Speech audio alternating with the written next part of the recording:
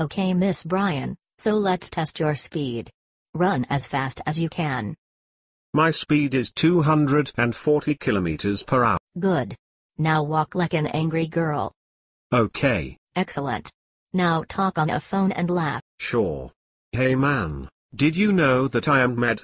Ha ha ha ha ha ha ha ha ha ha. Awesome. You have passed in your test. Now go home. Okay. Bye bye. Boss Mr. Kimberly is very good.